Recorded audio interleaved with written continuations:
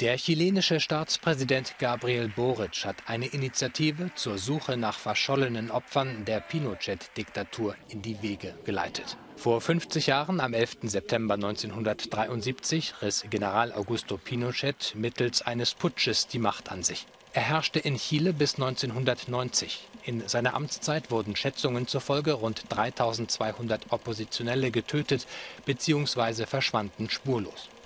Der 2006 verstorbene Pinochet wurde nie juristisch zur Verantwortung gezogen.